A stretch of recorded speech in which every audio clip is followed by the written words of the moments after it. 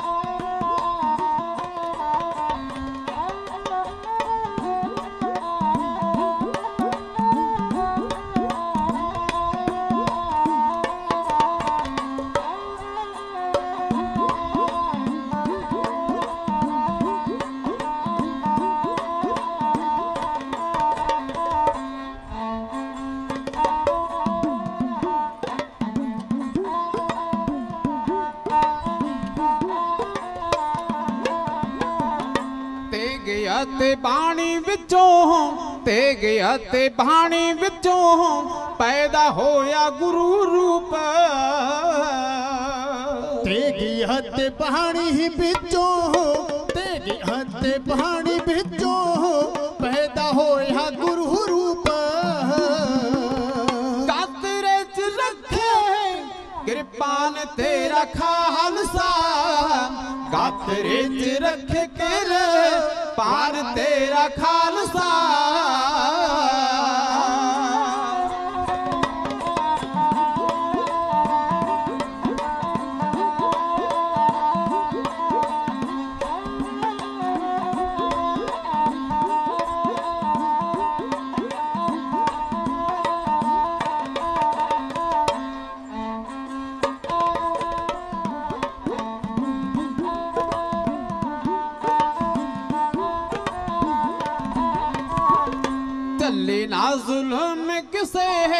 ਚੱਲੇ ਨਾ ਜ਼ੁਲਮ ਕਿਸੇ ਹੈ ਹੁੰਦਾ ਮਜ਼ਲੂਮ ਉਤੇ। ਚੱਲੇ ਨਾ ਜ਼ੁਲਮ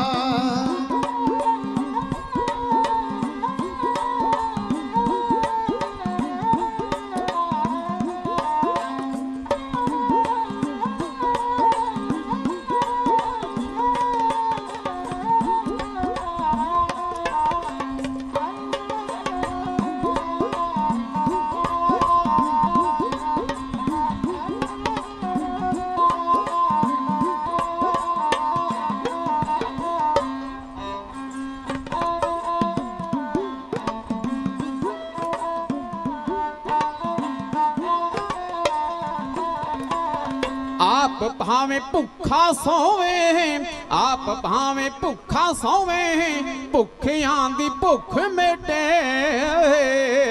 ਆਪ ਭਾਵੇਂ ਭੁੱਖਾ ਪਰ ਆਪ ਭਾਵੇਂ ਭੁੱਖਾ ਪਰ ਭੁੱਖਿਆਂ ਦੀ ਭੁੱਖ ਮਿਟੇ। ਹੋ ਦਸਾਂ ਨੌਹਾਂ ਨਾਲ ਕਰੇ ਕਾਰ ਤੇਰਾ ਖਾਲਸਾ। ਦਸਾਂ ਨੌਹਾਂ ਨਾਲ ਕਰੇ ਕਾਰ ਨਾਲ ਕਰੇ ਕਾਰ ਤੇਰਾ ਖਾਲਸਾ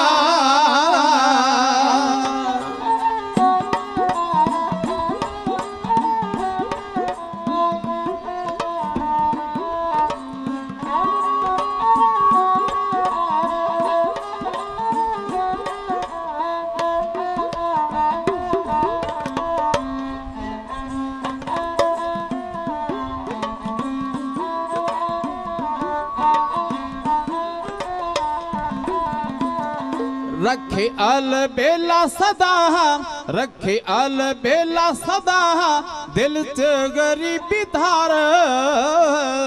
ਹੋ ਰੱਖੇ ਅਲ ਬੇਲੇ ਸਦਾ ਰੱਖੇ ਅਲ ਬੇਲੇ ਸਦਾ ਦਿਲ ਚ ਗਰੀਬੀ ਤਾਰ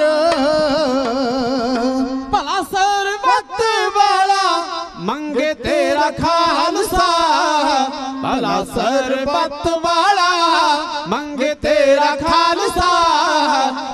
ਸਰਬੱਤ ਵਾਲਾ ਮੰਗੇ ਤੇਰਾ ਖਾਲਸਾ।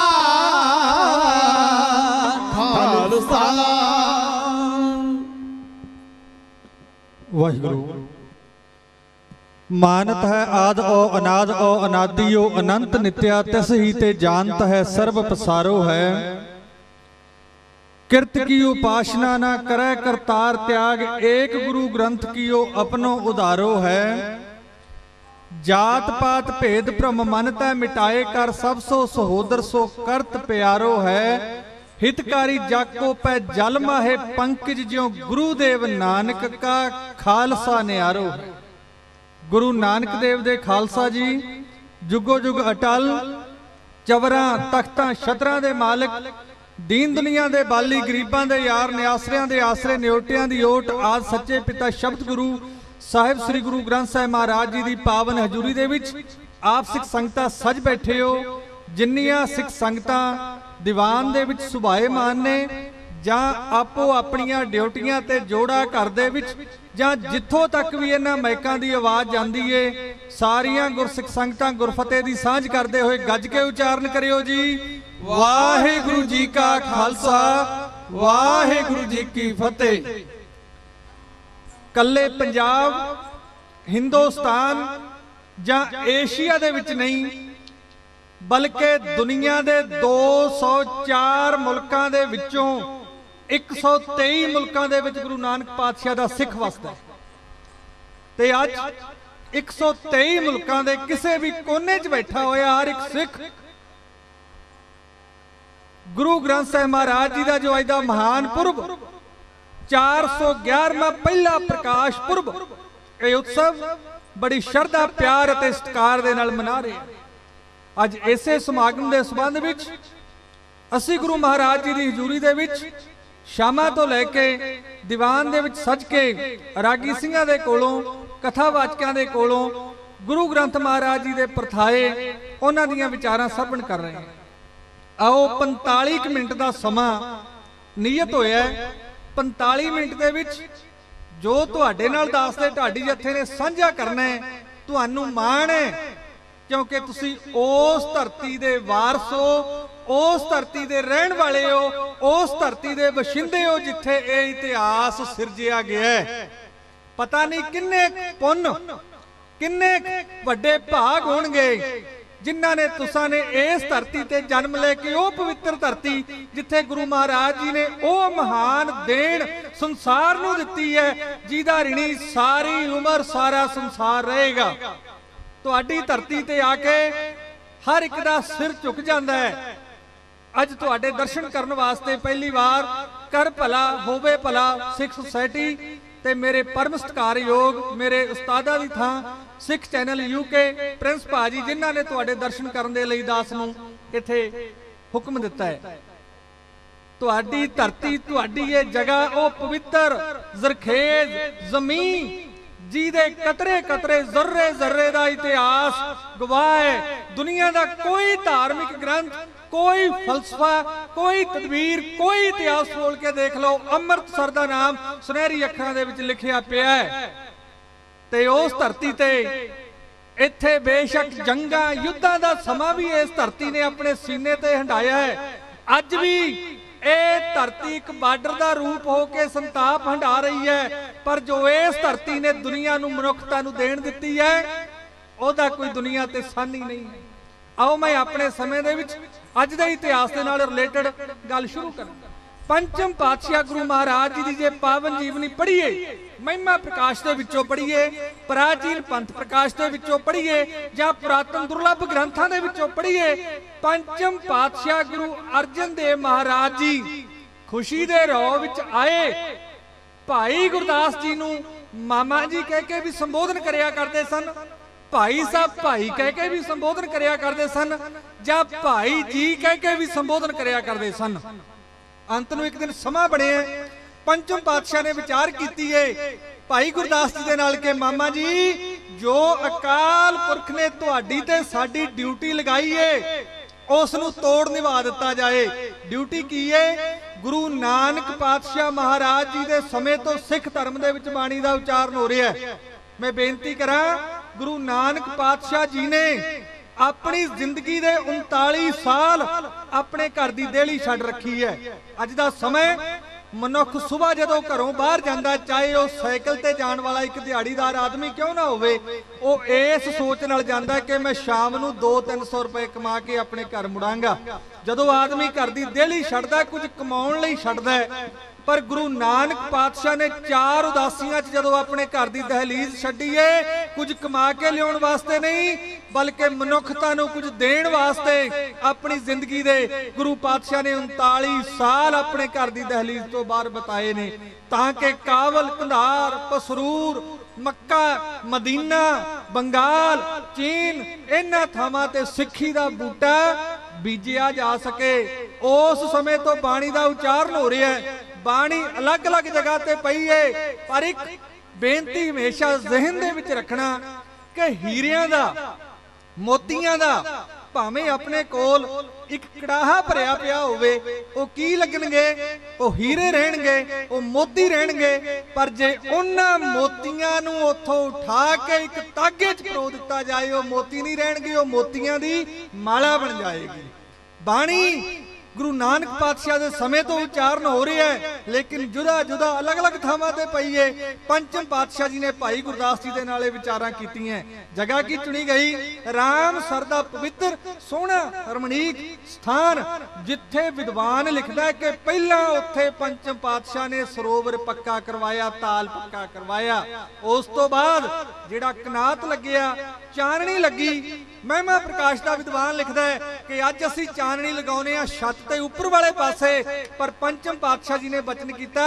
ਬਾਬਾ ਬੁੱਢਾ ਜੀ ਨੂੰ ਭਾਈ ਗੁਰਦਾਸ ਜੀ ਨੂੰ ਕਿ ਚਾਰ ਚਫੇਰੇ ਜਗ੍ਹਾ ਸਾਫ਼ ਕਰਕੇ ਚਾਨਣੀ ਮੰਡਰਾ ਦਿਓ, ਤਾਂ ਕਿ ਇੱਥੇ ਬੈਠ ਕੇ ਮਹਾਨ ਕਾਰਜ ਕੀਤਾ ਜਾਣਾ ਪ੍ਰਾਚੀਨ ਪੰਥ ਪ੍ਰਕਾਸ਼ ਲਿਖਦਾ ਹੈ ਕਿ 3 ਸਾਲ ਇਹ ਮਹਾਨ ਕਾਰਜ ਚੱਲਦਾ ਰਿਹਾ 3 ਸਾਲ। ਮੇਰੇ ਪਾਤਸ਼ਾਹ ਆਪਣੀ ਜ਼ਿੰਦਗੀ ਦਾ ਅਨਮੋਲ ਸਮਾਂ ਆਉਣ ਵਾਲੇ ਸਮੇਂ 'ਚ ਸਿੱਖਾਂ ਨੂੰ ਦਾਤ ਦੇਣ ਵਾਸਤੇ ਲਗਾਉਂਦੇ ਰਹੇ। ਗੁਰੂ ਕਿਹਾ ਸਿੱਖਾ, ਤੇਰੇ ਗੁਰੂ ਨੇ 3 ਸਾਲ ਆਪਣੀ ਜ਼ਿੰਦਗੀ ਦਾ ਹਰ ਲਮਹਾ ਤੈਨੂੰ ਚਾਨਣ ਦੇਣ ਵਾਸਤੇ ਲਾਇਆ ਪਰ ਅੱਜ ਦਾ ਸਿੱਖ ਪਤਾ ਨਹੀਂ ਕਿਹੜੀਆਂ ਸੋਚਾਂ ਦੇ ਵਿੱਚ ਗਲਤਾਨ ਨੇ ਕਿਹੜੀਆਂ ਵਹਿਮਾਂ ਭਰਮਾਂ 'ਚ ਪੈ ਗਿਆ ਅੱਜ ਜੇ ਮੁੰਡੇ ਜਾਂ ਕੁੜੀ ਦਾ ਵਿਆਹ ਰੱਖਣਾ ਹੈ, ਇਹ ਮਹਾਰਾਜ ਤੋਂ ਆ ਕੇ ਆਗਿਆ ਨਹੀਂ ਲੈਂਦਾ, ਇਹ ਪਹਿਲਾਂ ਬਾਹਮਣ ਦੇ ਕੋਲੋਂ ਜਾ ਕੇ ਪੱਤਰੀ ਖਿਲਾਉਣ ਜਾਂਦਾ ਕਿ ਵੇਖਾਂ ਕਿਤੇ ਪੈਂਚਕਾਂ ਤਾਂ ਤੇ ਨਹੀਂ। ਵੇਖਾਂ ਕਿਤੇ ਗੰਡ ਮੂਲ ਤੇ ਨਹੀਂ? ਮਾਫ ਕਰਨਾ। ਉਹ ਦੇਖਣ ਨੂੰ ਸਿੱਖ ਹੋ ਸਕਦਾ, ਪਰ ਉਹ ਅੰਦਰੋਂ ਸਿੱਖ ਨਹੀਂ ਹੋ ਸਕਦਾ, ਜਿਹੜਾ ਅੱਜ ਵੀ ਇਹ ਬਾਹਮਣਵਾਦੀ ਰੀਤਾਂ ਦੇ ਵਿੱਚ ਫਸਿਆ ਹੋਇਆ ਹੈ, ਜਿਹੜਾ ਅੱਜ ਵੀ ਬਿੱਲੀ ਦੇ ਰਸਤਾ ਕੱਟਣ ਤੋਂ ਰੁਕ ਜਾਂਦਾ ਹੈ। ਉਹਨੂੰ ਮੈਂ ਸ਼ਹਿਨशाह ਪਾਤਸ਼ਾਹ ਦਾ ਖਾਲਸਾ ਕਿੱਦਾਂ ਮੰਨ ਲਵਾਂ? ਜਿਹੜਾ ਅੱਜ ਵੀ ਕੁੱਤੇ ਦੇ ਕੰਨ ਫੜਕਾਉਣ ਤੋਂ ਪੈਰ ਦੀ ਜੁੱਤੀ ਲਾ ਕੇ ਖਲੋ ਜਾਂਦਾ ਹੈ, ਮੈਂ ਕਿੱਦਾਂ ਗੁਰੂ ਨਾਨਕ ਪਾਤਸ਼ਾਹ ਦਾ ਉਹਨੂੰ ਸਿੱਖ ਮੰਨ ਲਵਾਂ? ਇਧਰਲੇ ਪਾਸੇ ਪੰਚਮ ਪਾਤਸ਼ਾਹ ਨੇ ਅਦੁੱਤੀ ਖਜ਼ਾਨਾ ਤਿਆਰ ਕਰਵਾਇਆ ਸਮਾਂ ਮੇਰੇ ਕੋਲ ਬੜਾ ਸੀਮਤ ਹੈ। ਆਦ ਗ੍ਰੰਥ ਜਦੋਂ ਸੰਪੂਰਨ ਹੋਇਆ, ਭਾਈ ਗੁਰਦਾਸ ਜੀ ਦੇ ਨਾਲ ਵਿਚਾਰਾਂ ਹੋ ਰਹੀਆਂ ਕਿ ਹੁਣ ਰਾਮਸਰ ਦੇ ਸਥਾਨ ਤੋਂ ਆਦ ਗ੍ਰੰਥ ਦਾ ਸਰੂਪ ਹਰਮੰਦਰ ਸਾਹਿਬ ਤੱਕ ਲੈ ਕੇ ਆਂਦਾ ਜਾਣਾ ਹੈ। ਪੰਚਮ ਪਾਤਸ਼ਾਹ ਜੀ ਨੇ ਹੱਸਦੇ ਹੋਏ ਮੁਖਾਰ ਵਿੱਚੋਂ ਬਚਨ ਕੀਤਾ ਕਿ, ਮਾਮਾ ਜੀ, ਪ੍ਰਬੰਧ ਕਰੋ। ਵਿਦਵਾਨ ਲਿਖਦਾ, ਭਾਈ ਗੁਰਦਾਸ ਜੀ ਨੇ ਨਗੌਰੀ ਬਲਦ ਜੋੜ ਕੇ ਗੱਡਿਆਂ ਦੇ ਵਿੱਚ ਪੱਟੀਆਂ ਵਿਛਾ ਕੇ ਗੱਡੇ ਖੜਾ ਦਿੱਤੇ। ਗੜਵੈਲ ਤਿਆਰ ਕਰਕੇ ਖੜਾ ਦਿੱਤੀ ਰਥ ਖੜਾ ਦਿੱਤਾ, ਬੱਗੀਆਂ ਖੜਾ ਦਿੱਤੀਆਂ, ਬੇਨਤੀ ਕੀਤੀ, ਸਤਿਗੁਰੂ, ਸਾਰੀਆਂ ਸ਼ਾਹੀ ਸਵਾਰੀਆਂ ਤਿਆਰ ਹੈ ਤੁਹਾਡਾ ਹੁਕਮ ਹੋਵੇ, ਜਿਹੜੀ ਸਵਾਰੀ ਤੇ ਆਪ ਜੀ ਹੁਕਮ ਕਰੋਗੇ, ਉਸ ਤੇ ਆਦ ਗ੍ਰੰਥ ਦਾ ਸਰੂਪ ਆਏਗਾ ਪੰਚਮ ਪਾਤਸ਼ਾਹ ਨੇ ਬਚਨ ਕੀਤਾ ਕਿ, ਮਾਮਾ ਜੀ, ਇੰਨਾ ਰਥਾਂ ਵਗੀਆਂ ਤੇ ਦੁਨੀਆ ਦੇ ਰਾਜਿਆਂ ਨੂੰ ਜਾਂਦਾ ਲੋਕਾਂ ਨੇ ਵੇਖਿਆ ਹੈ। ਇਹਨਾਂ ਗੜਵੈਲਾਂ ਤੇ ਵਜ਼ੀਰਾਂ ਨੂੰ ਜਾਂਦਿਆਂ ਦੇਖਿਆ ਇਹਨਾਂ ਗੱਡਿਆਂ ਤੇ ਮੰਤਰੀਆਂ ਤੇ ਸੰਤਰੀਆਂ ਨੂੰ ਜਾਂਦਾ ਵੇਖਿਆ ਪਰ ਆਦ ਗੁਰੂ ਦੀ ਬਾਣੀ ਦਾ ਸਰੂਪ ਇਹਨਾਂ ਤੋਂ ਕਰੋੜਾਂ ਗੁਣਾ ਉੱਚਾ ਹੈ, ਜਿਹਦੇ ਤੇ ਦੁਨੀਆ ਦੇ ਰਾਜੇ ਮਹਾਰਾਜੇ ਜਾਂਦੇ ਨੇ, ਉੱਥੇ ਆਦ ਗ੍ਰੰਥ ਦੀ ਬਾਣੀ ਸਵਾਰੀ ਨਹੀਂ ਕਰੇਗੀ। ਭਾਈ ਗੁਰਦਾਸ ਜੀ ਉਸੇ ਵੇਲੇ ਅਚੰਭਤ ਹੋ ਕੇ ਸਵਾਲ ਕੀਤਾ, ਸਤਿਗੁਰੂ ਜੀ, ਬਾਕੀ ਤੇ ਮੇਰੇ ਸੋਚ ਵਿਚਾਰ ਤੋਂ ਬਾਹਰ ਹੈ ਹੁਣ ਆਪ ਹੀ ਹੁਕਮ ਕਰੋ ਕਿ ਆਦ ਗ੍ਰੰਥ ਦਾ ਸਰੂਪ ਕਿਸ ਤਰੀਕੇ ਦੇ ਨਾਲ ਹਰਮੰਦਰ ਸਾਹਿਬ ਤੱਕ ਲੈ ਕੇ ਆਂਦਾ ਜਾਵੇਗਾ? ਉਸ ਵੇਲੇ ਪੰਚਮ ਪਾਤਸ਼ਾਹ ਨੇ ਭਾਈ ਗੁਰਦਾਸ ਜੀ ਨੂੰ ਆਪਣੇ ਮੁਖਾਰਬਿੰਦ ਚੋਂ ਆ ਬਚਨ ਕੀਤਾ।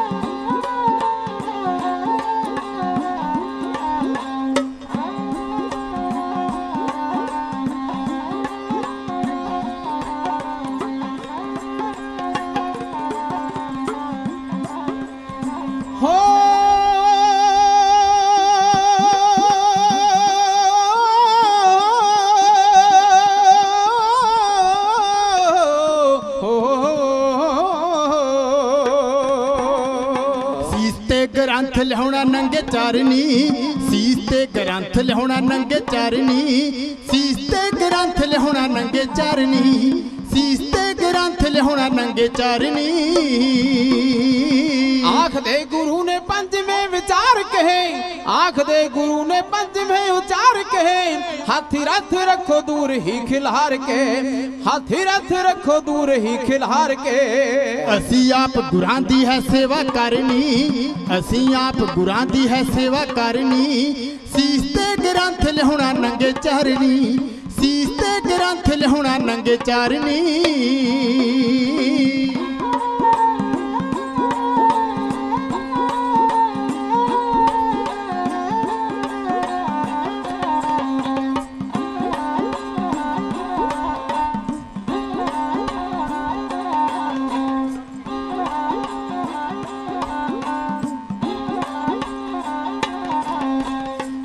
ਤੇ ਕਰੋਧ ਮੋਹ ਨੂੰ ਦੂਰ ਤੱਜ ਕੇ। ਜਾਣਗੇ ਸਵਾਰੀ ਬਣ ਸਿੱਖ ਸੱਜ ਕੇ। ਲੋਭ ਤੇ ਕਰੋਧ ਮੋਹ ਨੂੰ ਦੂਰ ਤੱਜ ਕੇ। ਬਣਗੇ ਸਵਾਰੀ ਜਾਣ ਸਿੱਖ ਸੱਜ ਕੇ। ਹੋਰ ਹੁਣ ਕਿਸੇ ਤੋਂ ਮੰਜ਼ਿਲ ਸਰਨੀ? ਹੋਰ ਹੁਣ ਕਿਸੇ ਤੋਂ ਮੰਜ਼ਿਲ ਸਰਨੀ? ਸੀਸ ਤੇ ਗ੍ਰੰਥ ਲਿਆਉਣਾ ਨੰਗੇ ਚਰਨੀ। ਸੀਸ ਤੇ ਗ੍ਰੰਥ ਲਿਆਉਣਾ ਨੰਗੇ ਚਰਨੀ। ਤੇ ਜਾਂਦਾ ਹਰ ਰਾਜਾ ਭੂਪ ਹੈ। ਬੱਗੀਆਂ ਤੇ ਜਾਂਦਾ ਹਰ ਰਾਜਾ ਭੂਪ ਹੈ। ਇਹ ਦੁਲੱਖਾਂ ਗੁਣਾ ਉੱਚਾ ਇਹ ਸਰੂਪ ਹੈ। ਇਹ ਦੁਲੱਖਾਂ ਗੁਣਾ ਉੱਚਾ ਇਹ ਸਰੂਪ ਹੈ। ਇਹ ਤੋਂ ਉੱਚਾ ਦੁਨੀਆ ਤੇ ਹੋਰ ਦਰ ਨਹੀਂ। ਇਹ ਤੋਂ ਉੱਚਾ ਦੁਨੀਆ ਤੇ ਹੋਰ ਦਰ ਨਹੀਂ। ਸੀਸ ਤੇ ਗ੍ਰੰਥ ਲਿਆਉਣਾ ਨੰਗੇ ਚਰਨੀ ਸੀਸ ਤੇ ਗ੍ਰੰਥ ਲਿਆਉਣਾ ਨੰਗੇ ਚਰਨੀ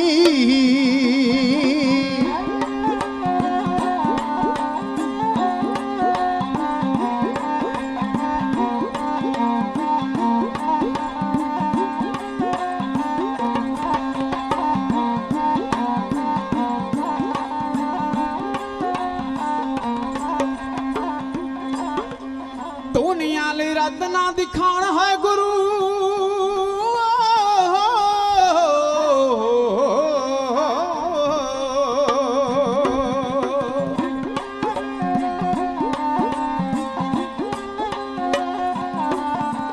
ਦੁਨੀਆ ਲਈ ਰਤਨ ਹਾਂ ਦਿਖਾਣ ਹੈ ਗੁਰੂ। ਸਭ ਕੁਝ ਆਪੇ ਜਾਣੀ ਜਾਣ ਹੈ ਗੁਰੂ। ਸਭ ਕੁਝ ਆਪੇ ਜਾਣੀ ਜਾਣ ਹੈ ਗੁਰੂ। ਕਦਮਾਂ ਤੇ ਮਨ ਚਾਹੀਏ ਭੇਟਾ ਤਰ ਨਹੀਂ। ਕਾਦਮਾ ਤੇ ਮਨ ਚਾਹੀਏ ਭੇਟਾ ਤਹਿਰਨੀ। ਸੀਸ ਤੇ ਗ੍ਰੰਥ ਲਿਹੁਣਾ ਨੰਗੇ ਚਰਨੀ। ਸੀਸ ਤੇ ਗ੍ਰੰਥ ਲਿਹੁਣਾ ਨੰਗੇ ਚਰਨੀ। ਦੁਨੀਆ ਤੇ ਚੱਲਣੀ ਏ ਰੀਤ ਪੱਕੀਏ।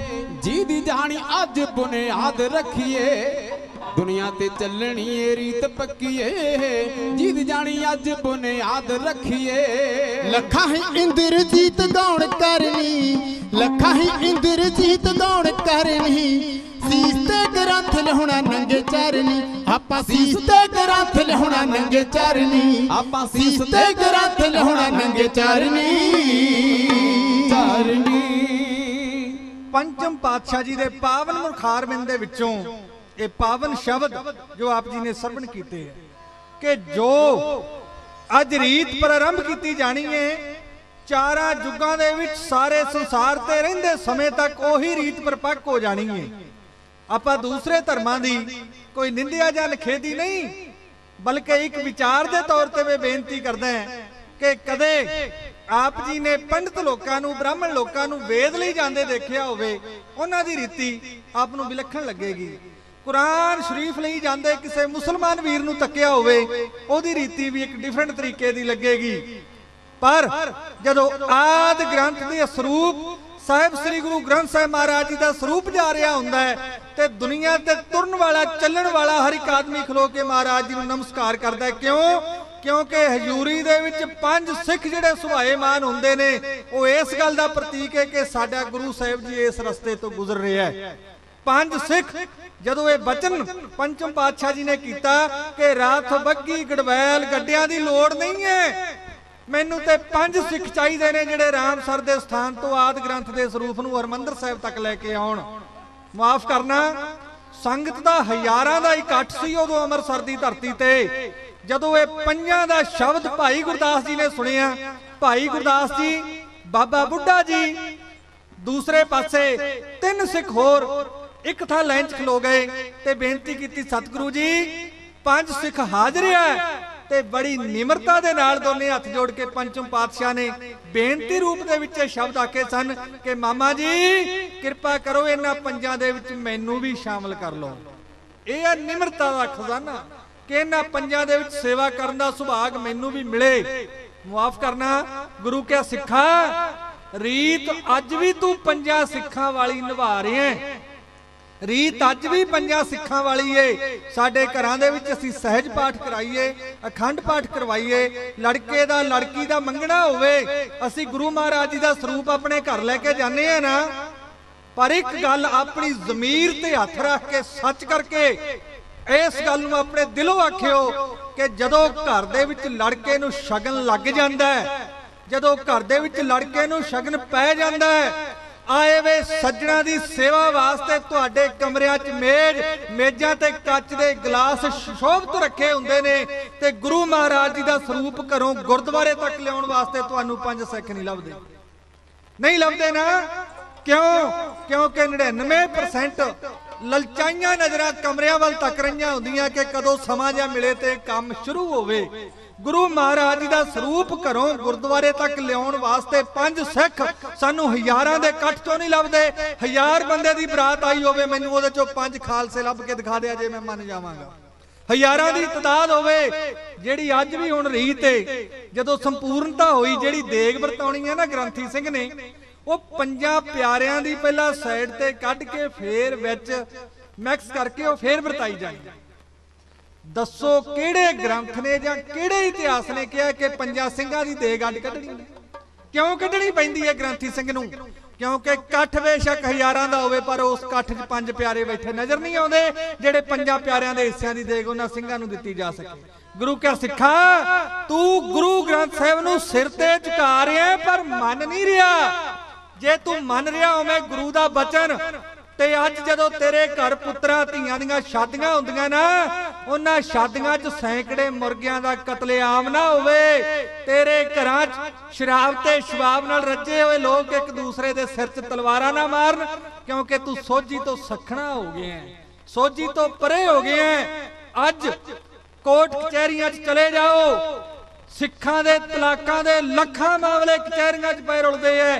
ਜਦੋਂ ਗੁਰੂ ਪਾਤਸ਼ਾਹ ਨੇ ਅਕਾਲ ਤਖਤ ਦਿੱਤਾ, ਤੁਹਾਨੂੰ ਕੋਰਟ ਕਚਹਿਰੀ 'ਚ ਜਾਣ ਦੀ ਲੋੜ ਕੀ ਹੈ ਪਰ ਮਸਲਾ ਤੇ ਅਕਾਲ ਤਖਤ ਤੇ ਵਿਚਾਰਨ ਵਾਲਾ ਹੋਵੇ ਨਾ, ਮਸਲਾ ਕੀ ਹੈ ਅੱਜ ਦਾ ਸਿੱਖ ਕੁੜੀ ਜੰਮਣ ਤੋਂ ਕਿਉਂ ਡਰਦਾ ਹੈ ਕਿਉਂਕਿ ਅੱਜ ਕੁੜੀ ਨੂੰ ਇਸ ਦੁਨੀਆ ਤੇ, ਇਸ ਧਰਤੀ ਤੇ ਅਸੀਂ ਕਹਿੰਦੇ ਆ, ਇੱਕ ਪੱਥਰ ਦੀ ਨਜ਼ਰ ਨਾਲ ਦੇਖਿਆ ਜਾਂਦਾ, ਪਰ ਗੁਰੂ ਕਿਆ ਸਿੱਖਾ ਨਹੀਂ? ਜੇ ਕਿਤੇ ਕੁੜੀ ਦਾ ਇਤਿਹਾਸ ਪੜਨਾ ਧੀ ਦਾ ਇਤਿਹਾਸ ਪੜਨਾ ਨਾ, ਇਸੇ ਅੰਮ੍ਰਿਤਸਰ ਦੀ ਧਰਤੀ ਦਾ ਇਤਿਹਾਸ ਪੜਿਓ ਇਹਦੇ ਨਾਲ ਜੁੜੇਗਾ ਮੇਰੇ ਮਾਲਵੇ ਦੀ ਧਰਤੀ ਦਾ ਇਤਿਹਾਸ। ਕਿਉਂਕਿ ਜਿੱਥੋਂ ਮੈਂ ਸੇਵਾ ਕਰਨ ਵਾਸਤੇ ਤੁਹਾਡੇ ਕੋਲੇ ਆਇਆ ਆ ਦਸਮ ਪਾਤਸ਼ਾਹ ਨੇ ਜਿੱਥੋਂ ਔਰੰਗਜ਼ੇਬ ਨੂੰ ਜ਼ਫਰਨਾਮਾ ਲਿਖਿਆ ਨਾ, ਉਹ ਗੁਰਦੁਆਰਾ ਮੇਰੇ ਖੇਤਾਂ ਦੇ ਵਿੱਚ ਪੈਂਦਾ ਹੈ। ਦੀਨਾ ਸਾਹਿਬ ਦਾ ਗੁਰਦੁਆਰਾ। ਉੱਥੋਂ ਆ ਕੇ ਤੁਹਾਡੇ ਚਰਨ ਪਰਸਨ ਦੇ ਲਈ ਆਏ ਆ ਅੱਜ ਆਪਣੀਆਂ ਲੜਕੀਆਂ ਦੇ ਵਿਆਹਾਂ ਤੇ ਕਰਜ਼ਾ ਚੁੱਕ ਚੁੱਕ ਕੇ ਕਿਸਾਨ ਲੱਖਾਂ ਦਾ ਖਰਚ ਕਰਦਾ ਬਾਅਦ ਚ ਫਾਹੇ ਲੈਂਦਾ ਪਰ ਉਹ ਧੀਆਂ ਦੇ ਘਰ ਸੁਖੀ ਫੇਰ ਨਹੀਂ ਵਸਦੇ। ਪਤਾ ਕਿਉਂ?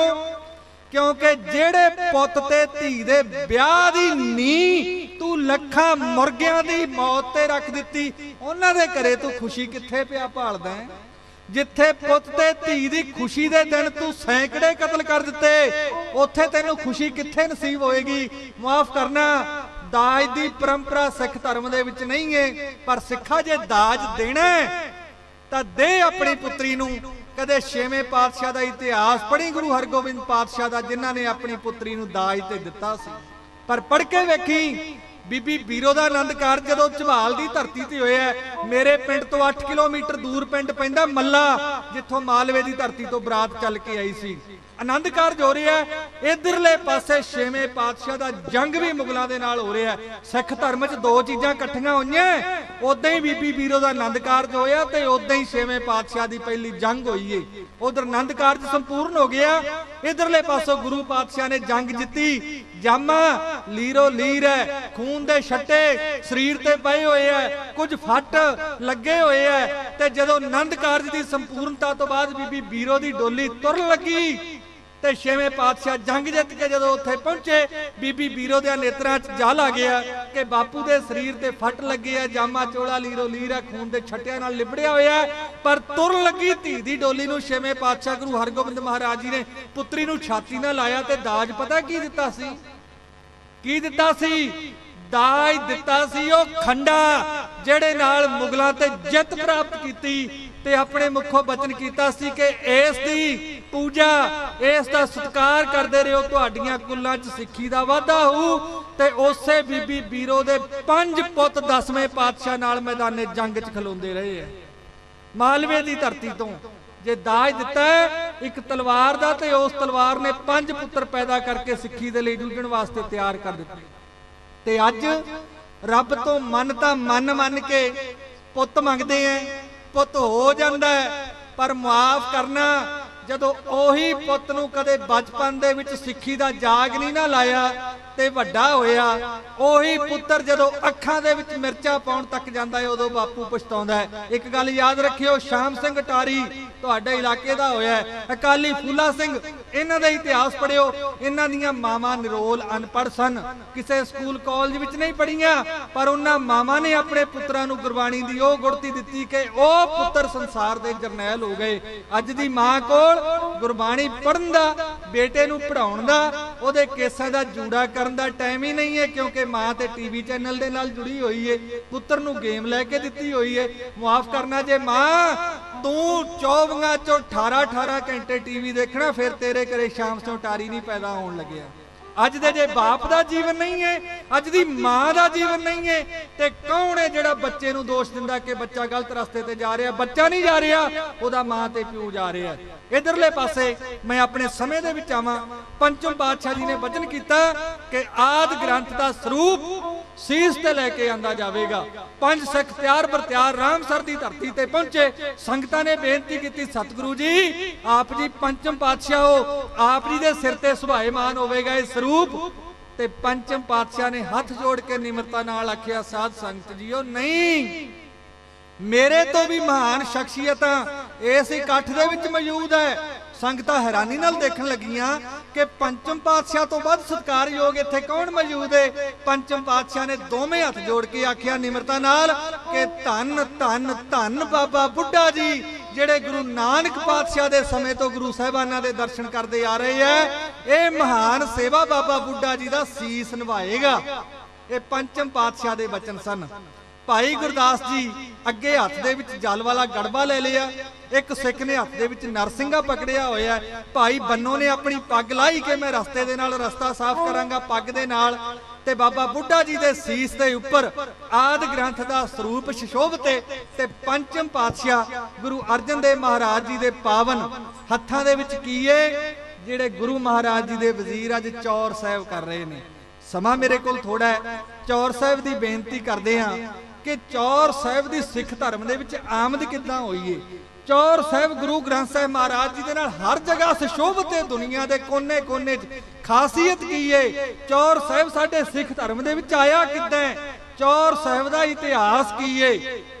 ਗੁਰੂ ਨਾਨਕ ਪਾਤਸ਼ਾਹ ਜੀ ਨੇ ਚਾਰ ਉਦਾਸੀਆਂ ਕੀਤੀਆਂ ਮੇਰੇ ਤੋਂ ਬਾਅਦ ਕਾਦਰੀ ਸਾਹਿਬ ਦਾ ਟਾਈਮ ਹੈ ਜਿਹੜੇ ਸਿੱਖੀ ਦੇ ਨਾਲ ਇਸਲਾਮ ਧਰਮ ਦੇ ਬੜੇ ਜਾਣੂ ਨੇ। ਪਰ ਮੈਂ ਆਪਣੇ ਕਾਲਜ ਤੇ ਯੂਨੀਵਰਸਿਟੀ ਦੇ ਟਾਈਮ ਇਸਲਾਮ ਧਰਮ ਨੂੰ ਪੜ੍ਹਿਆ।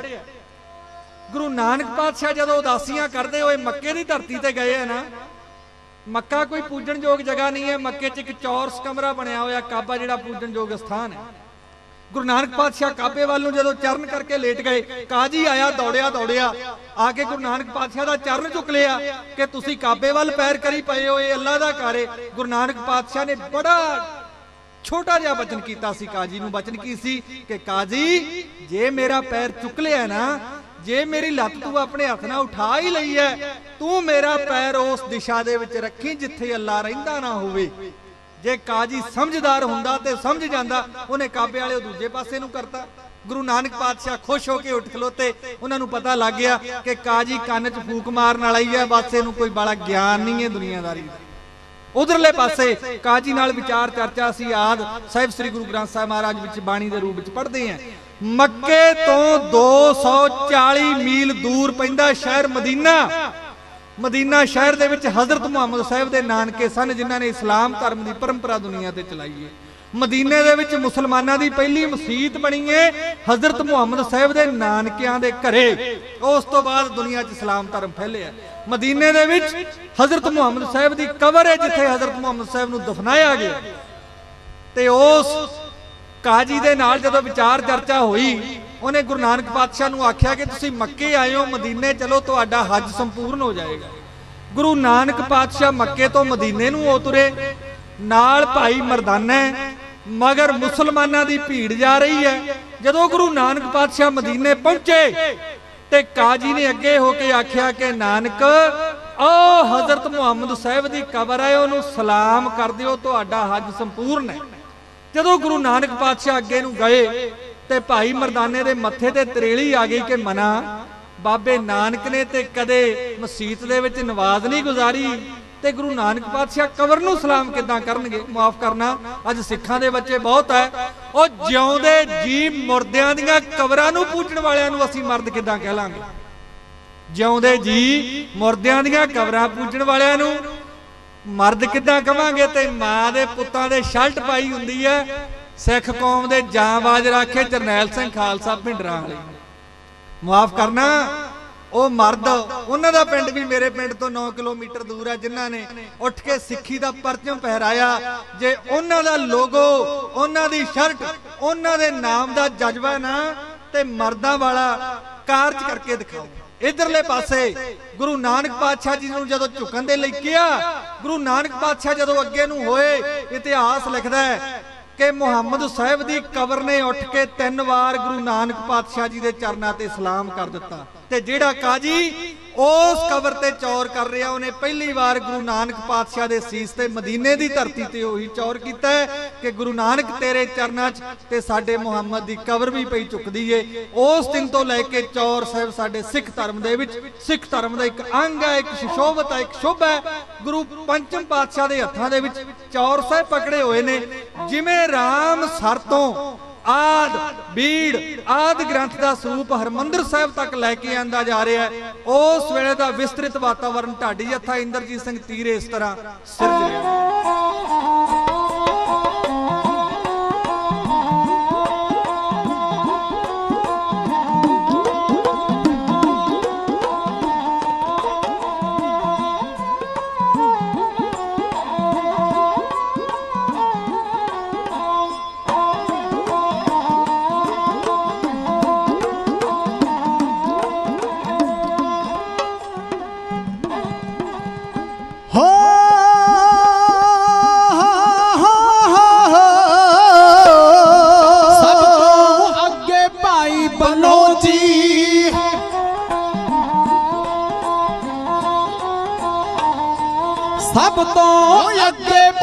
ਭਾਈ ਬਨੋ ਜੀ ਕਰਦੇ ਸਭ ਪਲੂ ਨਾਲ ਰਾਜ ਉਸ ਤੋਂ ਪਿੱਛੇ ਨੇ ਗਰਦਾਸ ਜੀ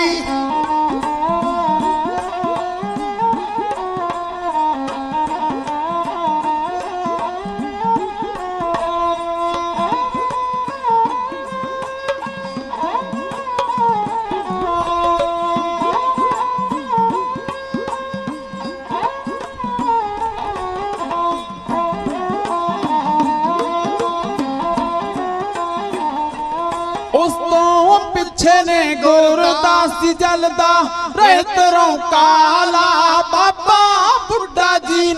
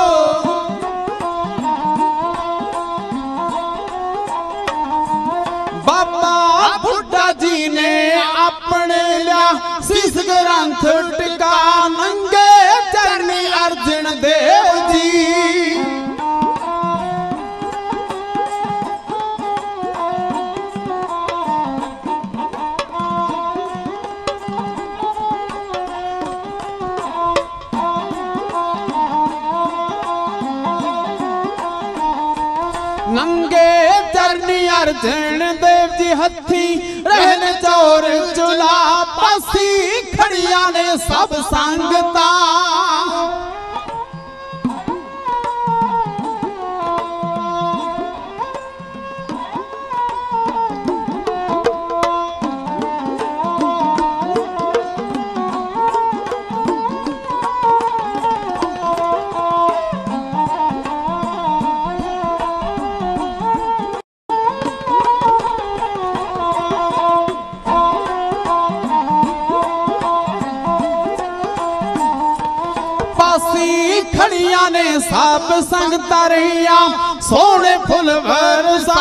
ਵਰਸਾ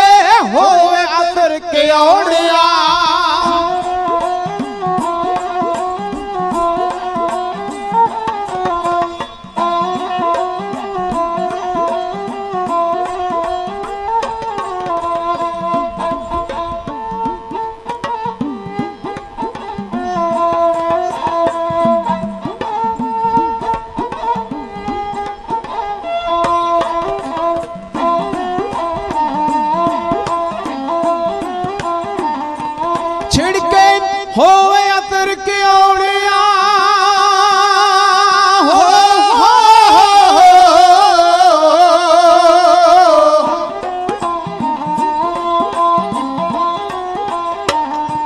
ਛਿੜਕੇ ਹੋਵੇ ਅਤਰ ਕੇ ਔੜਿਆਂ ਦਿੱਤੀ।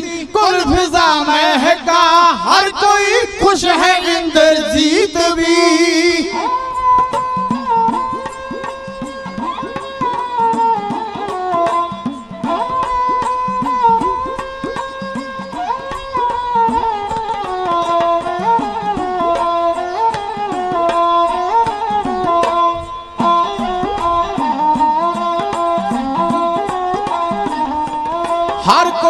ਖੁਸ਼ ਹੈ ਇੰਦਰ ਜੀਤ ਵੀ ਗੀਤ ਖੁਸ਼ੀ ਦੇਗਾ। ਹਰ ਕੋਈ ਖੁਸ਼ ਹੈ ਇੰਦਰ ਵੀ। ਪਾਵਨ ਇਤਿਹਾਸ ਦੇ ਸਤਕਾਰ ਵਿੱਚ ਸਾਡੇ ਬਹੁਤ ਹੀ ਸਤਿਕਾਰਯੋਗ ਸੈਕਟਰੀ ਸਾਹਿਬ, ਉਹਨਾਂ ਵੱਲੋਂ ਬਹੁਤ ਸਾਰਾ ਮਾਣ ਆਇਆ।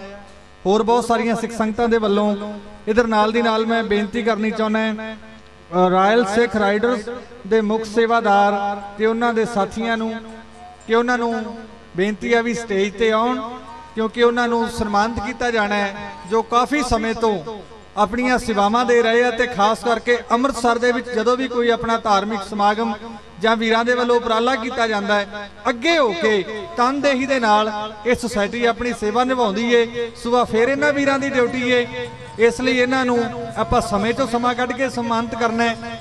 ਤੇ ਸੈਕਟਰੀ ਸਾਹਿਬ ਦਾ ਹੁਕਮ ਹੈ ਕਿ ਮੈਂ ਇੱਕ ਕਾਵ ਦੀ ਸਾਂਝ ਹੋਰ ਤੁਹਾਡੇ ਨਾਲ ਕਰਨੀ ਹੈ 15 ਮਿੰਟ ਹੋਰ ਦਾਸ ਦੇ ਢਾਡੀ ਜੱਥੇ ਨੂੰ ਬਖਸ਼ ਦਿੱਤੇ ਗਏ ਹੈ ਉਹ ਮੈਂ ਤੁਹਾਡੇ ਨਾਲ ਸਾਂਝਾ ਕਰਨੀ ਹੈ ਸੋ ਬੇਨਤੀ ਹੈ ਕਿ ਇਹਨਾਂ ਰਾਇਲ ਸਿੱਖ ਰਾਈਡਰਸ ਦੇ ਵੀਰਾਂ ਨੂੰ ਕਿ ਉਹ ਆ ਕੇ ਆਪਣਾ ਮਾਨ ਸਨਮਾਨ ਗੁਰੂ ਮਹਾਰਾਜ ਜੀ ਦੀ ਪਾਵਨ ਹਜ਼ੂਰੀ ਦੇ ਵਿੱਚ ਆ ਕੇ ਸੈਕਟਰੀ ਸਾਹਿਬ ਜੀ ਦੇ ਕੋਲੋਂ ਸਿੱਖ ਸੰਗਤਾਂ ਦੇ ਸਤ ਕਰਤਾਰ ਦੇ ਸ਼ਬਦ ਦੀ ਗੂੰਜ ਦੇ ਵਿੱਚ ਹਰਮੰਦਰ ਸਾਹਿਬ ਦੀ ਦਹਲੀਜ਼ ਤੱਕ ਲੈ ਕੇ ਆਂਦਾ ਗਿਆ ਪ੍ਰਕਾਸ਼ ਕੀਤੇ ਗਏ ਆਦਿ ਗ੍ਰੰਥ ਸਾਹਿਬ ਸੰਸਾਰ ਨੂੰ ਪਹਿਲੀ ਵਾਰ ਇਹ ਦੇਖਣ ਨੂੰ ਮਿਲਿਆ ਕਿ ਜਦੋਂ ਮਨੁੱਖਤਾ ਨੂੰ ਅਕਾਲ ਦਾ ਖਜ਼ਾਨਾ ਮੇਰੇ ਪੰਚਮ ਪਾਤਸ਼ਾਹ ਨੇ ਹਮੇਸ਼ਾ ਦੇ ਲਈ ਸਮਰਪਿਤ ਕਰ ਦਿੱਤਾ ਉਸ ਦਿਨ ਤੋਂ ਲੈ ਕੇ ਬੇਨਤੀ ਹੈ ਸਰਵਣ ਕਰਨ ਵਾਲੀ ਕਿ ਬਾਬਾ ਬੁੱਢਾ ਜੀ ਨੇ ਜੋ ਹਰਮੰਦਰ ਸਾਹਿਬ ਦੇ ਅੰਦਰ ਹੁਕਮਨਾਮਾ ਉਸ ਦਿਨ ਆਇਆ, ਸੰਤਾਂ ਕੇ ਕਾਰਜ ਆਪ ਖਲੋਆ, ਆਪਾਂ ਇਹ ਹੁਕਮਨਾਮਾ ਸਹਿਬਾਨ ਇਤਿਹਾਸ ਦੇ ਵਿੱਚੋਂ ਸਰਵਣ ਕਰਦੇ ਹਾਂ। ਗੁਰੂ ਕਿਆ ਸਿੱਖਾ ਉਸ ਦਿਨ ਤੋਂ ਲੈ ਕੇ ਅੱਜ ਤੱਕ ਤੇ ਰਹਿੰਦੀ ਦੁਨੀਆ ਤੱਕ ਸਾਹਿਬ ਸ੍ਰੀ ਗੁਰੂ ਗ੍ਰੰਥ ਸਾਹਿਬ ਮਹਾਰਾਜ ਹਰ ਸਵੇਰ ਨੂੰ ਹੁਕਮਨਾਮਾ ਸਿੱਖਾਂ ਨੂੰ ਬਖਸ਼ਿਸ਼ ਕਰ ਰਿਹਾ ਹੈ। ਪਰ ਬੇਨਤੀ ਏ, ਹੁਕਮਨਾਮਾ ਸੰਗਤਾਂ ਸਰਵਣ ਕਰਦੀਆਂ ਵਿਦੇਸ਼ਾਂ ਦੇ ਵਿੱਚ ਟੀਵੀ ਚੈਨਲਾਂ ਤੇ ਨੈਟ ਤੇ ਅਸੀਂ ਹੁਕਮਨਾਮਾ ਸੁਣਦੇ ਆਂ ਸਾਡੀ ਗਿਣਤੀ ਅੱਜ ਹਜ਼ਾਰਾਂ ਚੋਂ ਲੱਖਾਂ ਚੋਂ ਕਰੋੜਾਂ ਤੇ ਪਹੁੰਚ ਗਈ ਏ। ਪਰ ਇੱਕ ਗੱਲ ਫੇਰ ਜ਼ਮੀਰ ਨੂੰ ਅੰਦਰੋਂ ਜਗਾ ਕੇ ਆਖਣਾ ਕਿ ਹੁਕਮਨਾਮਾ ਸਰਵਣ ਕਰਨ ਤੱਕ ਹੀ ਸੀਮਤ ਰਹਿ ਗਏ ਆ ਕਿ ਹੁਕਮਨਾਮੇ ਤੇ ਚੱਲਣ ਦੀ ਸਮਰੱਥਾ ਵੀ ਰੱਖਦੇ ਆਂ ਅਸੀਂ। ਹੁਕਮਨਾਮਾ ਸਰਵਣ ਕਰਕੇ ਉਸ ਹੁਕਮਨਾਮੇ ਤੇ ਚੱਲਣਾ, ਇਹ ਗੁਰੂ ਕੇ ਸਿੱਖ ਦਾ ਫਰਜ਼ ਹੈ। ਹੁਕਮਨਾਮਾ ਬਾਬਾ ਅਕਾਲੀ ਫੂਲਾ ਸਿੰਘ ਵਰਗਿਆਂ ਨੇ ਜੇ ਹੁਕਮਨਾਮਾ ਲਿਆ ਤੇ ਆਪਣੀ ਜਾਨ ਨਿਸ਼ਾਵਰ ਕਰ ਦਿੱਤੀ, ਪਰ ਹੁਕਮਨਾਮੇ ਤੇ ਪੂਰੇ ਉਤਰਦੇ ਹੋਏ ਆਪਣਾ ਸਰੀਰ ਨਿਸ਼ਾਵਰ ਕੀਤਾ।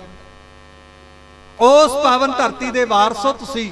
ਆਓ ਮੈਂ ਇੱਕੋ ਚੀਜ਼ ਤੁਹਾਡੇ ਸਨਮੁਖ ਹੋਰ ਕਹਿਣੀ ਹੈ। ਉਸ ਦਿਨ ਤੋਂ ਲੈ ਕੇ ਆਦ ਗ੍ਰੰਥ ਦੇ ਸਰੂਪ ਸ੍ਰੀ ਹਰਮੰਦਰ ਸਾਹਿਬ ਦੇ ਵਿੱਚ ਪ੍ਰਕਾਸ਼ ਕੀਤੇ ਗਏ।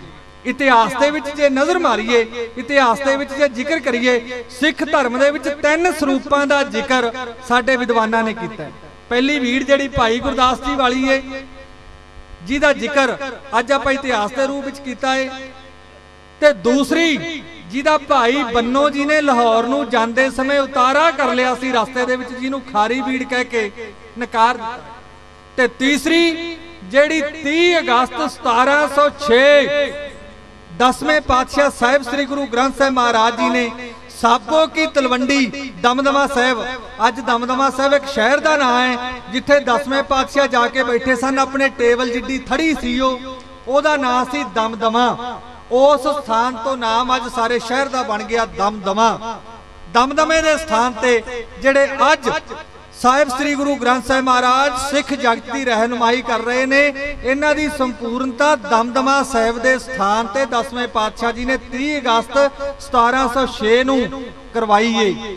ਸਾਹਿਬ ਸ੍ਰੀ ਗੁਰੂ ਗ੍ਰੰਥ ਸਾਹਿਬ ਮਹਾਰਾਜ ਜੀ ਦੇ ਵਿੱਚ ਅੱਜ ਸਮੁੱਚੀ ਮਨੁੱਖਤਾ ਨੂੰ ਚਾਨਣ ਮਨਾਰੇ ਦੇ ਰੂਪ ਦੇ ਵਿੱਚ ਬਖਸ਼ਣ ਦੇ ਲਈ ਦੁਨੀਆ ਦੇ ਕੋਨੇ-ਕੋਨੇ ਦੇ ਵਿੱਚ ਗੁਰੂ ਮਹਾਰਾਜ ਜੀ ਦੇ ਸਰੂਪ ਇੱਕ ਚਾਨਣ ਮਨੁੱਖਤਾ ਦੇ ਲਈ ਬਖਸ਼ਿਸ਼ ਕਰ ਰਹੇ ਨੇ। ਇੱਕ ਵਿਦਵਾਨ ਨੇ ਬੜਾ ਸੋਹਣਾ ਲਿਖਿਆ ਹੈ। ਉਹ ਕਹਿੰਦਾ, ਇਹ ਕੈਥੋਲਿਕ ਇੰਥੋਲੋਜੀ ਸਰਵ ਸ਼ਬਦ ਗ੍ਰਹਿ the mankind a common of spiritual treasure ਮਨੁੱਖਤਾ ਜਾਤੀ ਦਾ ਸਾਂਝਾ ਰੋਹਾਨੀ ਖਜ਼ਾਨਾ।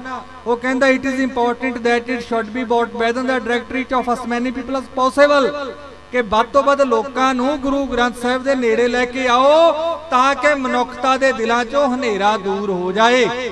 ਜਿਹੜੇ ਮੌਜੂਦਾ ਸਾਹਿਬ ਸ੍ਰੀ ਗੁਰੂ ਗ੍ਰੰਥ ਸਾਹਿਬ ਮਹਾਰਾਜ ਦੇ ਸਰੂਪ ਦੀ ਹਜ਼ੂਰੀ 'ਚ ਅਸੀਂ ਅੱਜ ਸ਼ਿਸ਼ੋਭਤ ਬੈਠੇ ਆ ਨਾ, ਗੁਰੂ ਗ੍ਰੰਥ ਸਾਹਿਬ ਮਹਾਰਾਜ ਜੀ ਦੇ 92 ਲੱਖ ਅਕਸ਼ਰ ਮਨੁੱਖਤਾ ਨੂੰ ਗਿਆਨ ਵੰਡ ਰਹੇ ਹੈ।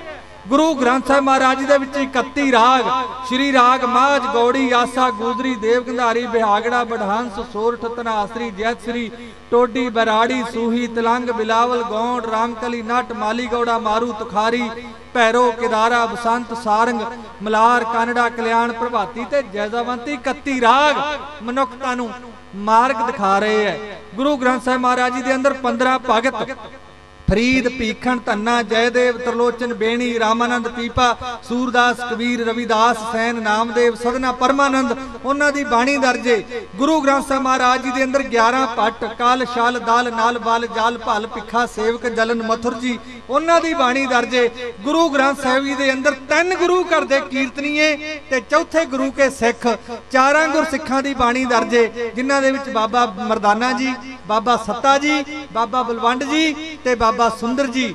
ਸਾਹਿਬ ਸ੍ਰੀ ਗੁਰੂ ਗ੍ਰੰਥ ਸਾਹਿਬ ਮਹਾਰਾਜ ਜੀ ਦੇ ਵਿੱਚ ਵਰਲਡ ਦੀਆਂ 72 ਲੈਂਗੁਏਜ ਮਿਲਦੀਆਂ ਨੇ। ਗੁਰੂ ਗ੍ਰੰਥ ਸਾਹਿਬ ਜੀ ਦੇ ਅੰਦਰ ਰੱਬ ਦਾ ਨਾਮ, ਕੱਲਾ ਸਤਨਾਮ ਜਾਂ ਵਾਹਿਗੁਰੂ ਨਹੀਂ ਆਇਆ। ਗੁਰੂ ਗ੍ਰੰਥ ਸਾਹਿਬ ਮਹਾਰਾਜ ਜੀ ਦੇ ਅੰਦਰ ਬਹੁਤ ਸਾਰੇ ਨਾਮ ਉਸ ਅਕਾਲ ਪੁਰਖ ਦੇ ਆਏ ਨੇ, ਜਿਨ੍ਹਾਂ ਦੇ ਰਾਹੀਂ ਮਨੁੱਖਤਾ ਨੂੰ ਮਹਾਰਾਜ ਜੀ ਨੇ ਸੰਬੋਧਨ ਕਰਦੇ ਹੋਏ ਉਸ ਅਕਾਲ ਦੇ ਨਾਲ ਜੁੜਨ ਦੇ ਆਪਣੇ ਪ੍ਰਵਚਨ ਕੀਤੇ ਨੇ, ਜਿਨ੍ਹਾਂ ਚੋਂ ਅੰਤਰਜਾਮੀ 91 ਵਾਰ, ਅੱਲਾ 46 ਵਾਰ ਅਚਯੁਤ 3 ਵਾਰ, ਸਤਨਾਮ 69 ਵਾਰ, ਸਾਰੰਗ ਪਾਣੀ 21 ਵਾਰ, ਸਾਰੰਗ ਧਰ 3 ਵਾਰ, ਹਰੀ 8344 ਵਾਰ, ਕਰਤਾ ਪੁਰਖ 228 ਵਾਰ, ਕ੍ਰਿਸ਼ਨ 22 ਵਾਰ, ਗੋਪਾਲ 491 ਵਾਰ, ਗੋਬਿੰਦ 475 ਵਾਰ, ਗੋਪੀਨਾਥ 2 ਵਾਰ, ਗੋਵਰਧਨ ਧਾਨੀ 2 ਵਾਰ, ਜਗਦੀਸ਼ 90 ਵਾਰ, ਠਾਕੁਰ 216 ਵਾਰ, ਦਾਤਾ 151 ਵਾਰ, ਦਮੋਦਰ 15 ਵਾਰ, ਨਰੈਣ 95 ਵਾਰ ਨਰ ਹਰੀ 29 ਵਾਰ, ਨਰਸਿੰਘ 15 ਵਾਰ, ਪ੍ਰਭੂ 1317 ਵਾਰ, ਪਾਰ ਬ੍ਰਹਮ 324 ਵਾਰ, ਪਰਮੇਸ਼ਰ 139 ਵਾਰ, ਪਰਮਾਨੰਦ 22 ਵਾਰ, ਪਾਵਨ 6 ਵਾਰ, ਬੀਠਲ 20 ਵਾਰ, ਬਨਵਾਰੀ 15 ਵਾਰ, ਭਗਵਾਨ 30 ਵਾਰ, ਮੋਹਨ 54 ਵਾਰ, ਮਾਧਵ 27 ਵਾਰ, ਮੁਕੰਦ 28 ਵਾਰ, ਮਧੂਸੂਦਨ 9 ਵਾਰ, ਮੁਰਾਰੀ 8714 ਵਾਰ, ਰਾਮ 2513 ਵਾਰ, ਰਘੁਨਾਥ 7 ਵਾਰ, ਰਘੂ ਰਾਏ 2 ਵਾਰ ਤੇ ਭੱਟਾਂ ਦੇ ਸਵੰਜਾਂ 'ਚ ਵਾਹਿਗੁਰੂ ਸ਼ਬਦ 13 ਵਾਰ ਆਇਆ, ਗੱਜ ਕੇ ਆਖੋ ਜੀ, ਸਤਨਾਮ। ਸ਼੍ਰੀ ਵਾਹਿਗੁਰੂ। ਇਹ ਸਤਿ ਸ਼੍ਰੀ ਅਕਾਲ। ਇਸ ਬਾਣੀ ਦੇ ਵਿੱਚ ਉਸ ਅਕਾਲ ਪੁਰਖ ਦੇ ਨੇ ਨਾਮ ਆਏ ਨੇ। ਇਸ ਬਾਣੀ ਨੇ ਕੌੜੇ ਰਿੱਠੇ ਮਿੱਠੇ ਕਰ ਦਿੱਤੇ। ਇਸ ਬਾਣੀ ਨੇ ਬਲੀ ਘਨਾਰੀ ਵੱਲੋਂ ਧੱਕੇ ਹੋਏ ਪੱਥਰਾਂ ਨੂੰ ਪੰਜਾ ਲਾ ਕੇ ਪੂਜਣ ਯੋਗ ਬਣਾ ਦਿੱਤਾ। ਇਸ ਬਾਣੀ ਨੇ ਕੌੜੇ ਰਿੱਠੇ ਸਦਾ ਲਈ ਮਿੱਠੇ ਕਰ ਦਿੱਤੇ। ਇਸ ਬਾਣੀ ਨੇ ਕੌਡੇ ਰਾਖਸ਼ ਨੂੰ ਦੇਵਤਾ ਕਰ ਦਿੱਤਾ। ਇਸ ਬਾਣੀ ਦੇ ਪਰਥਾਏ ਆਪਣੀ ਆਖਰੀ ਨਜ਼ਮ ਦਾਸ ਇੰਦਰਜੀਤ ਸਿੰਘ ਤੀਰ ਦਾ ਇੰਟਰਨੈਸ਼ਨਲ 골ਡ ਮੈਡਲਿਸਟ ਢਾਡੀ ਜਥਾ ਇਸ ਤਰ੍ਹਾਂ ਬਿਆਨ ਕਰ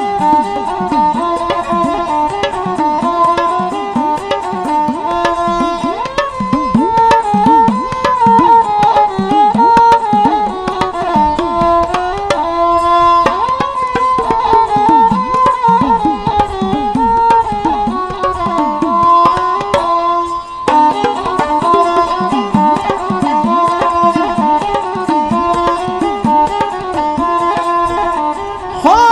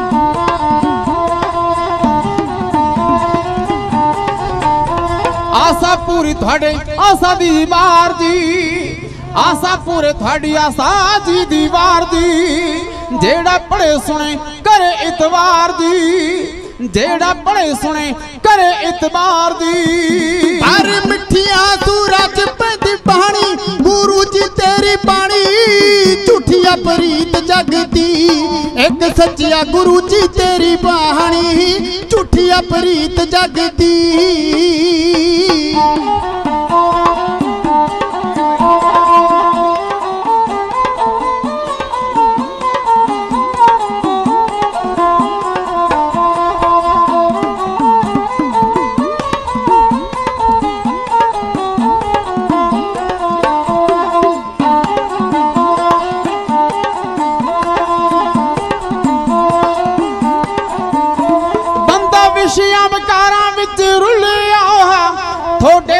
ਹੋਏ ਮਾਰਗਾਂ ਨੂੰ ਖੁੱਲਿਆ ਬੰਦਾ ਵਿਸ਼ਿਆਂ ਵਿਕਾਰਾਂ ਵਿੱਚ ਰੁੱਲਿਆ।